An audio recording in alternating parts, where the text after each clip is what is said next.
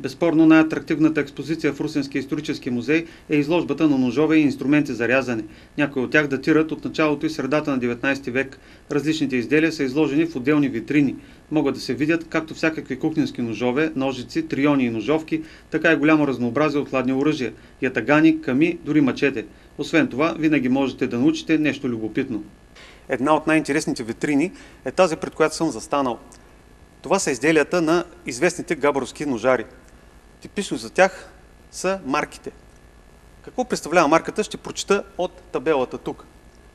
Значи, марката се набива с чук на точно определено място, в повечето случаи в средата на острието към неговия гръб.